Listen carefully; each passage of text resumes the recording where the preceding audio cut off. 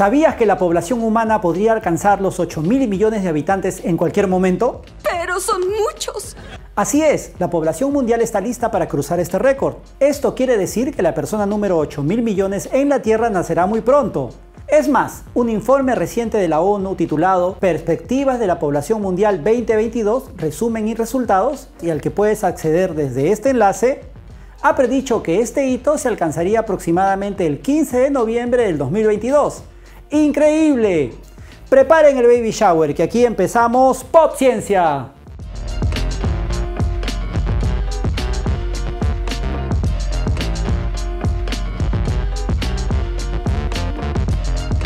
Pero se preguntarán, ¿cómo es posible esto si ya no tenemos tantos hijos como los tenían nuestros abuelos? Según la ONU, el crecimiento de la población se debe en parte a la disminución de los índices de mortalidad y el aumento de los niveles de vida gracias a la ciencia, entre ellos el aseguramiento alimentario, los avances en salud y las comunicaciones.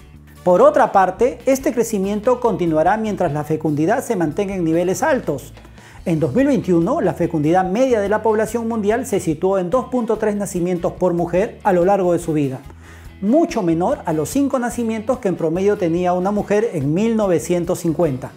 Un dato más, según la ONU, la esperanza de vida de las mujeres ha superado a la de los hombres en 5.4 años a nivel mundial. Así, nuestras compañeras tienen una expectativa de vida promedio de 73.8 años, mientras que los hombres 68.4 años. Esta ventaja se observa en todas las regiones y países del mundo, siendo mayor en América Latina y el Caribe. El informe también asegura que para el 2023 la India le quitará la corona del país más poblado del mundo a China, que ha sido el país con más población durante siglos. Si tenemos en cuenta que a comienzos del siglo XX la población mundial era de aproximadamente 1.800 millones de habitantes y hacia la década de 1970 llegamos a los 4.000 millones, yo pude ser el terrícola número 4 mil millones, el crecimiento de la población en apenas 50 años se ha duplicado. Hoy el promedio general de vida es de 71 años, a pesar que el COVID-19 redujo esta expectativa en el 2021. Pero, ¿qué incidencias trae al mundo alcanzar tal cantidad de población? No hay cama para tanta gente.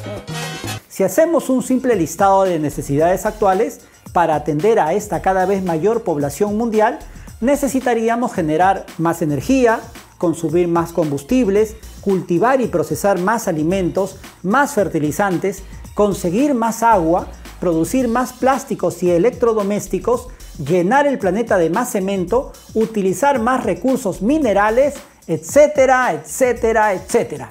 Lo que ya viene provocando una producción gigantesca de desechos y con ello de contaminación y polución ambiental. Si sabemos que la superficie sólida de la Tierra, ojo, sin los océanos, es de 150 millones de kilómetros cuadrados o 15 mil millones de hectáreas, y si le restamos los 7 mil millones de hectáreas que representan los territorios de la Antártida, Groenlandia, los nevados y los desiertos inhóspitos, nos quedan 8 mil millones de hectáreas habitables. Esto quiere decir que a cada humano le correspondería una hectárea para vivir, más o menos una cancha de fútbol. Pero ya sabemos que esto no funciona así. ¿Y qué pasa con el Perú? Nuestro país tiene actualmente 33 millones de habitantes. Solo en Lima, y según esta publicación del INEI, e esta proporción global de un habitante por hectárea se reduce totalmente. Por ejemplo, Lima tiene poco más de 10 millones de habitantes y en distritos como Surquillo la densidad poblacional alcanza a 29 mil personas por kilómetro cuadrado o dicho de otra forma, 290 habitantes por hectárea. ¿Qué? Es decir, 34.4 metros cuadrados por habitante.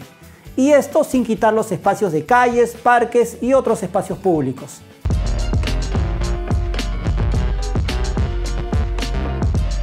Reflexionemos un poco sobre cuánto impacto negativo estamos causando a nuestras ciudades, nuestro país y nuestro planeta.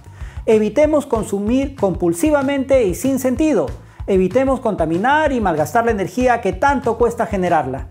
Aprovecho para invitarlos a descargar la revista de divulgación científica Libros y Ciencias, dedicada al tema de la contaminación. Lo puedes hacer gratuitamente desde el enlace que aparece aquí y en el copy de este video.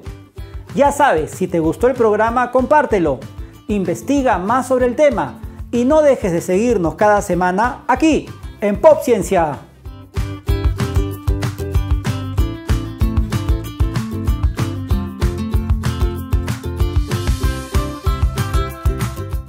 Pop Ciencia es su programa de divulgación científica generado por el Concitec para popularizar la ciencia.